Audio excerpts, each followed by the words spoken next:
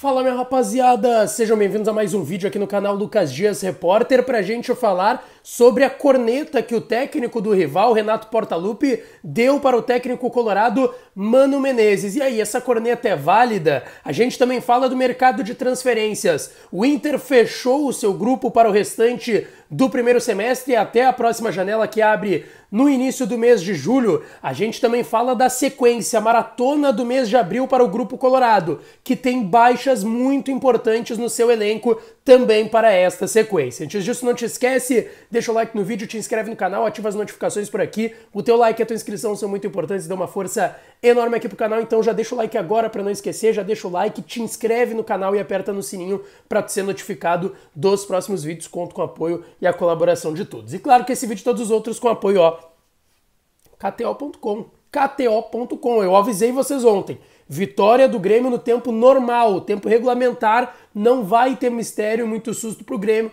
Dito feito, e tu usa o código DIAS, ganha 20% de free bet e dá lá uma brincada em KTO.com. Tá certo, pessoal? Bom, ainda repercutindo justamente uh, esse título gaúcho do Grêmio, não para falar de Grêmio, né? Aqui a gente fala de internacional, mas na coletiva do técnico ex-campeão Renato Portaluppi, teve corneta pro técnico colorado Mano Menezes. Renato fez uma corneta, aliás, duas cornetas para o técnico Mano Menezes, uma até citando o Mano, e a gente traz aqui o que, que o Renato falou. Primeiro ele falou que não é fácil o que já fizemos desse ano. Contratamos jogadores, alguns saíram, mudamos nosso estilo de jogo e volto a repetir. Conquistamos já dois títulos, o Gauchão e a Recopa Gaúcha. Muita gente fala, ah, mas é o campeonato estadual. Muita gente ficou de fora e viu a gente hoje pela televisão. Essa é uma indireta, né? Porque o Inter não se classificou para a final, acabou vendo pela TV, de fato, a final do Campeonato Gaúcho. Mas depois ele cita o Mano. Ele diz: Eu gosto muito do Mano Menezes, mas vou lembrá-lo que quem está insatisfeito e triste hoje somos nós, gremistas, porque nós não ganhamos o título invictos. Perdemos aquele jogo contra o Ipiranga, no qual nós poderíamos ter goleado aquela partida no primeiro tempo. Isso porque o Mano falou depois da derrota, uh, qual que seria o reflexo daí, da derrota no Grenal. E aí o Mano falou que caso o Inter fosse campeão, não seria campeão invicto, era só isso que mudava aquele tipo de derrota. E aí ficou essa corneta do técnico Renato Portaluppi pro técnico Mano Menezes, que assim, é do jogo, é normal, ainda mais se tratando do Renato, é natural que ele haja dessa forma, nem vou entrar muito no debate se está certo ou errado, vocês podem deixar aqui a opinião de vocês do que, que vocês acharam disso, tá certo? Bom, pessoal, o Inter acabou então não conquistando o título gaúcho, agora é passado e é pensar nas estreias de Copa do Brasil, já teve a da Libertadores e também teremos de Campeonato Brasileiro. O Inter que vai ter um abril, cara, complicado, tá? Um abril que começou já com o jogo contra o Independiente Medellín pela Libertadores. Tem agora no dia 11 o CSA, terça-feira, 8 horas da noite, estaremos lá no estádio Beira-Rio, Inter CSA. Quatro dias depois a estreia no Campeonato Brasileiro contra o Fortaleza, 18 e 30 no Castelão fora de casa. Três dias depois, o Inter recebe o Metropolitanos da Venezuela no Beira Rio, às 19 horas, e aí isso no dia 18. Dia 23, cinco dias depois, 11 horas da manhã, tem Inter e Flamengo, jogaço, bom horário no Beira Rio. O Inter não vai precisar viajar, vai ficar uma semana inteira em Porto Alegre. E aí, o penúltimo jogo do mês de abril é o jogo de volta contra o CSA e depois finaliza no dia 30, três dias depois do jogo contra o CSA, contra o Goiás em casa às 18h30 no Beira Rio. Uma sequência de sete jogos importantes entre início aí de Libertadores que já começou, mas teremos aí nesse meio tempo mais um jogo, dois jogos de Copa do Brasil e três de Campeonato Brasileiro, uma sequência bastante cruel para o Inter que não terá o lateral direito Fabrício Bustos, por exemplo, nessa sequência, está tentando a recuperação do Mário para essa sequência, mas para o jogo contra o CSA é praticamente impossível. Em contrapartida, o René está voltando, mas ainda assim, o Inter vai jogar a cada 3, 4, no máximo 5 dias. Então, a parte física, que é muito criticada pelo torcedor do Internacional, vai ter que aparecer neste momento também. Bom, pessoal, em relação a essa sequência, também tem fechamento de janela de transferências daqui a 11 dias. Daqui a 11 dias fecha a janela de transferências para o Internacional. O que ainda pode acontecer, tá? Eu fui atrás de algumas informações, detalhes sobre essas últimas chegadas e também o que ainda pode acontecer, tá? O Inter não deverá fazer mais anúncios até o dia 20. Mesmo que esteja assim buscando um meia, essa é a ideia do Inter, ter mais um meia no elenco. É possível que isso fique para o meio do ano. Explico aqui, tá?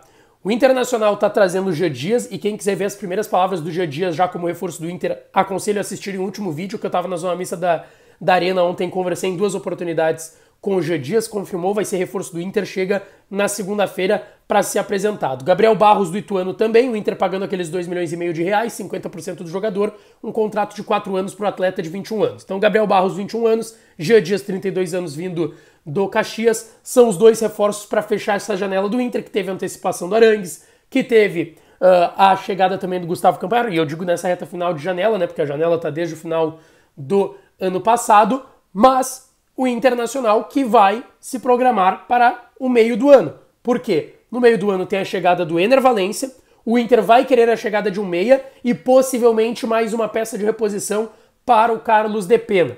Porque até o Inter deve sofrer baixas. Eh, o Johnny tem uma tendência de ser vendido no meio do ano, o Maurício pode ser vendido agora para o Bragantino também. Então o Inter deverá ter baixas no elenco, vai precisar se reforçar também. E aí existem duas situações. A principal de uma, do Matias Rojas. Informação é de que o Inter deve tentar uma carga e oferecer um pré-contrato para ele chegar de graça no meio do ano. O Inter só teria que pagar luvas. É um negócio que o Inter pode tentar, mas vai ter que botar grana na mesa, não só em luvas, mas de salário, porque ele já teve duas propostas do Botafogo, proposta do Atlético Mineiro, o mundo árabe demonstrou interesse no paraguaio de 27 anos do Racing. O Inter, caso de fato tente e 100% fechar, e o Inter quer isso, já abriu negociações outra vez e a gente trouxe aqui no canal, mas agora a informação é de que o Inter deve tentar uma carga nova no Matias Rojas, o Inter vai ter que colocar grana na mesa. Não tem o que fazer, o Inter vai ter que jogar esse jogo. Em relação ao Martegani, é um nome de convicção do Mano.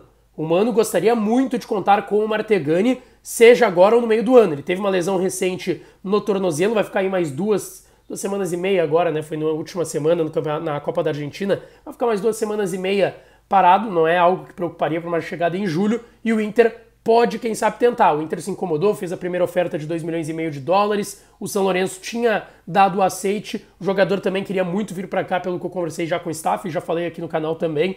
Mas a situação não andou e o Inter pode tentar o Rojas de novo e o Martegani de novo. E essa é uma tendência para a janela do meio do ano.